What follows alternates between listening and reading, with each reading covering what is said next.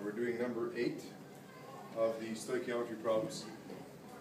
The question says, identify the limiting reactant when four point six eight seven grams of sulfur tetrafluoride reacts with six point two eight one grams of diiodine pentoxide to produce iodine pentafluoride and sulfur dioxide. So I've written all the chemicals involved.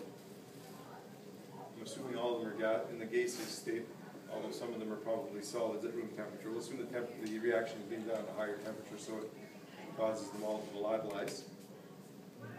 We, I've written down the grams of each substance under the under the substance. So here's the grams of I2O5, here's the grams of sulfur tetrafluoride, and I've divided by the molar mass of each one to find out how many moles. So we're going to moles. We're going to moles, uh, find out the moles of SF4, the moles of I2O5. The next step in the calculation is to find the limiting reagent. So I'm going to pick one of these two chemicals. And it doesn't matter which one I pick as long as I follow the procedure correctly. So I picked uh, sulfur tetrafluoride because I had a hunch it would be the limiting reagent just by looking at the numbers. And even if I did pick the wrong one, you'll see it won't matter. So I picked this one and I did the calculation the, using the stoichiometry of the balanced equation. And I did check to make sure that the equation was balanced. Uh, five sulfurs here, five sulfurs there, uh, 20 fluorines, 20 fluorines, four iodines, four iodines, 10 oxygens, and 10 oxygens. So the equation is balanced. Everything that's on the left is also appearing on the right. That gives us a stoichiometry of 2 to 5 for iodine, uh, diiodine pentoxide and sulfur tetrafluoride. I put the 5 sulfur uh, tetrafluoride on the bottom because I want to cancel the moles of sulfur tetrafluoride. And the result is that it will require 1.73 moles of I2O5 to be present for the reaction to be, go to completion. As it turns out, we have a bit more than that. So that what that tells us is that this is the limiting reagent. SF4 is the limiting reagent. So all calculations that we do from now on will be starting from the amount of SF4.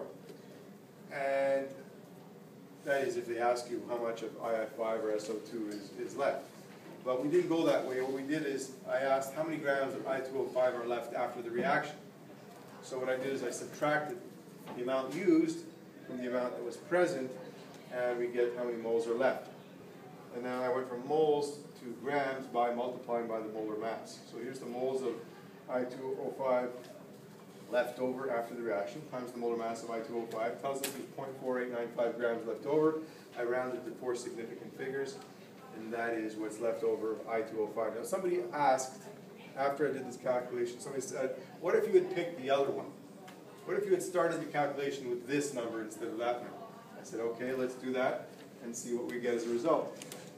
So I started with a, a number of moles of I2O5, and I entered the stoichiometry for the reaction, which is 5 moles of SF4 appearing for every 2 moles of I2O5, uh, uh, sorry, 5 moles of SF4 disappearing for every 2 moles of I2O5 disappearing.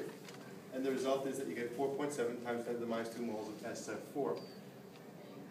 Uh, but as you can see from our earlier calculation, you only have 4.33 moles of SF4, which means you don't have enough SF4 to react with all the I2O5 that is present.